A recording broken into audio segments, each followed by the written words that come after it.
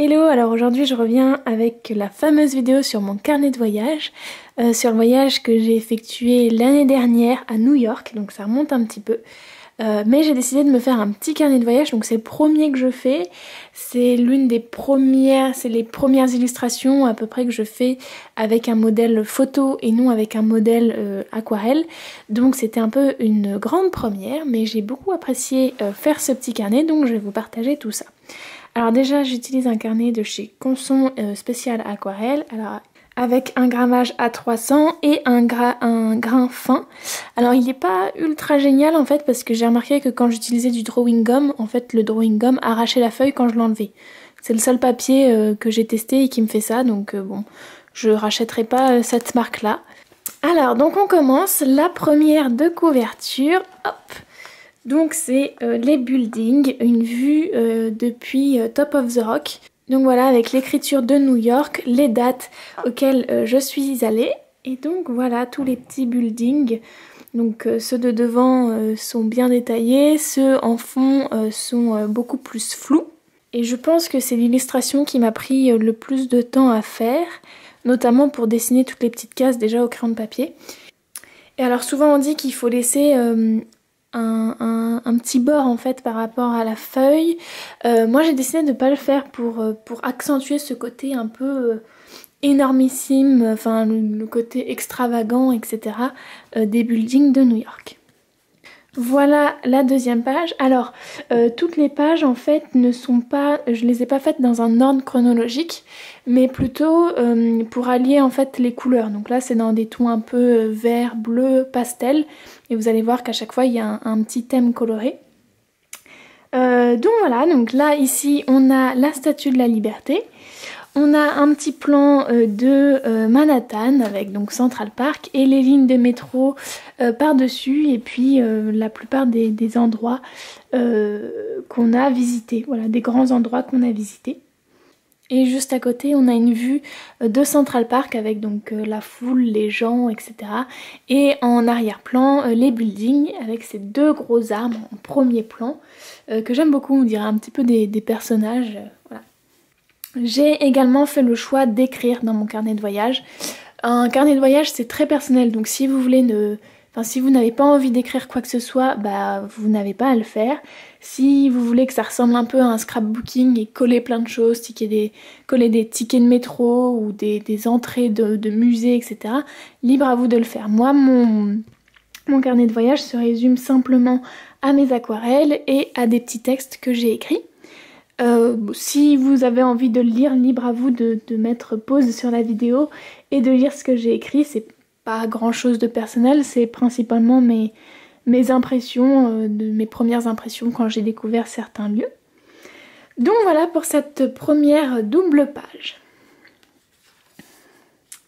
Ensuite on a une double page, euh, donc plus dans les tons ocre et, et, marron, ocre, voilà. Alors on a déjà cette première, première illustration qui est une photo que j'ai prise, donc c'est moi euh, en fond là, et c'est une photo depuis euh, notre chambre d'hôtel. Donc le petit texte correspond en fait à la chambre d'hôtel. Juste à côté, on a un petit, feu rouge en fait, un, feu de route euh, traditionnellement new-yorkais. Et, et sur la page de droite, on a une grande illustration sur Ellis Island. Voilà, la grande, grande salle d'Ellis Island avec les, drapeaux américains, etc. Très impressionnante. Et c'est la première fois que je faisais une illustration vraiment architecturale, etc. Donc ça m'a plu, c'était un petit peu différent de ce que je faisais d'habitude. Et celle-ci, c'était euh, une illustration que j'ai fait sans ma prof, parce qu'en fait j'ai commencé à faire mon carnet de voyage lors d'un cours d'aquarelle. Et donc pour les illustrations que vous avez vues, notamment pour euh, la Statue de la Liberté et Central Park et la chambre d'hôtel, euh, j'ai eu l'aide de ma prof, mais pour celle-ci je ne l'ai pas eu. Et je suis quand même contente du résultat. sur l'illustration de ma chambre, j'ai eu des petits soucis avec le drawing gum déjà. Voilà, donc ça s'arrache un petit peu, c'est pas terrible, terrible. Ensuite, cette double page, alors je suis un petit peu déçue, je trouve qu'elle est un peu... voilà, elle aurait pu être mieux réussie. Euh, c'est tout simplement une vue qu'on a euh, depuis Central Park sur les buildings. Et euh, la photo en fait est très jolie parce que On a d'un côté le ciel très bleu qui se confond avec le bleu de l'eau. Donc c'est très joli et on voit très bien les reflets des buildings. Euh, oui, donc j'essayerai normalement de vous mettre les photos à chaque fois de, desquelles je me suis inspirée pour faire, euh, pour faire les illustrations.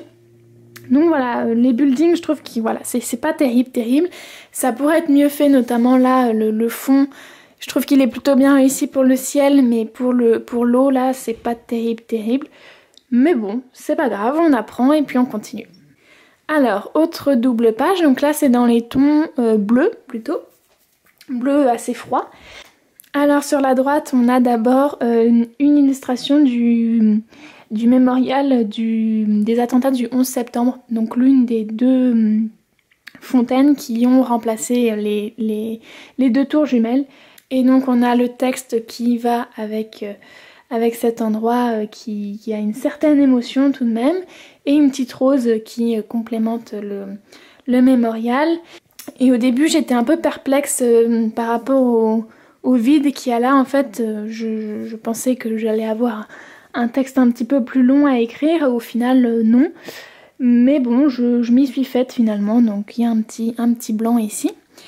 Et de l'autre côté, il y a le musée d'histoire naturelle. Alors, j'ai pas voulu rentrer beaucoup dans les détails pour le musée d'histoire naturelle. Donc c'est un petit peu flou. Moi je sais que c'est le musée d'histoire naturelle. Peut-être que si vous le connaissez pas, vous le reconnaîtrez pas. Mais bon.